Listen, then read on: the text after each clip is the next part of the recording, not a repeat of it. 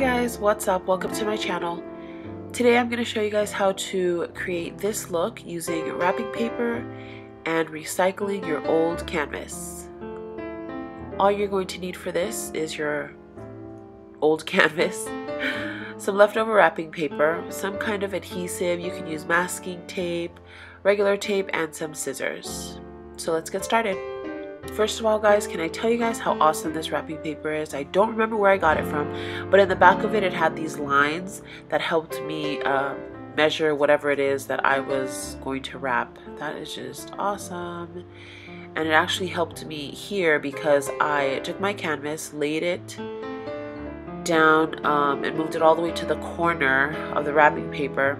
And you can't see, but I'm measuring it to the line that's on the back of the wrapping paper.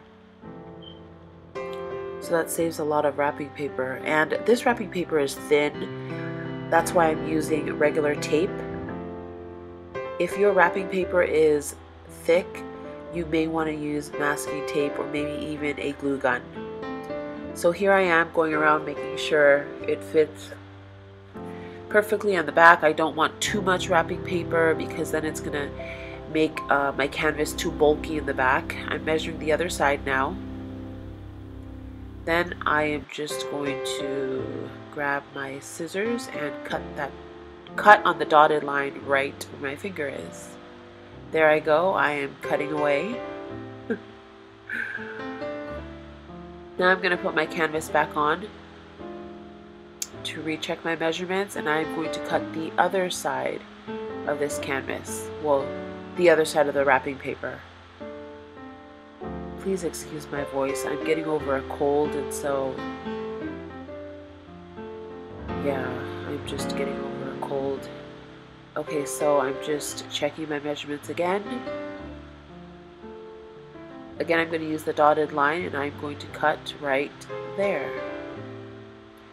After you have cut your perfect square for your canvas, put your canvas back on top and grab your tape or whatever you're going to use to stick the wrapping paper to your canvas.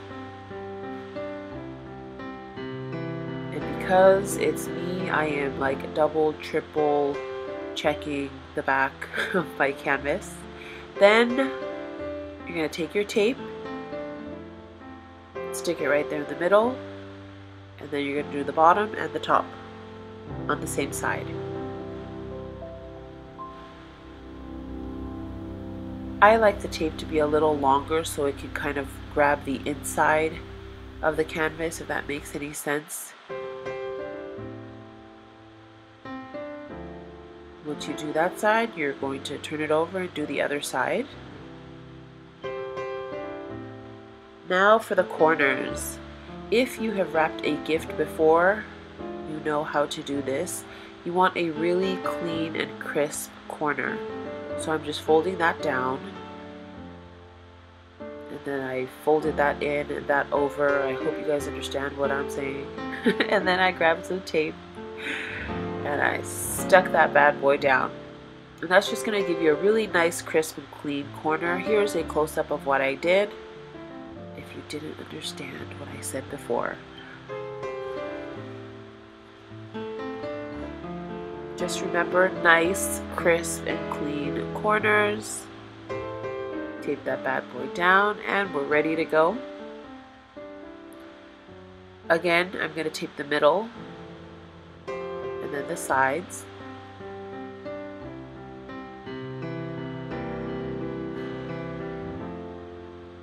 Once I'm done with that, I'm going to go on over and do the other side. Of course, I'm fast forwarding through this.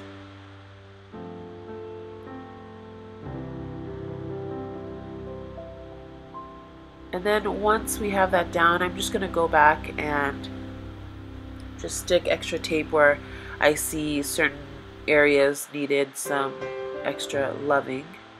And there we have it. Super easy, super quick. Ta-da! So these are the three that I've decided to put on this blank wall. Over to the left, I'm going to leave the link below if you want to know how I created this using toilet paper rolls or paper towels, paper towel rolls. And so there are three ways I could have hung these. So here's the first way. Here is number two, and I decided to go with number three. And all I used to hang these three were push pins. And I swear you guys, it took me less than 15 minutes to do all three of these. If you enjoyed this video, go ahead and thumbs up this video and subscribe if you haven't. And I will see you guys in my next video. Bye!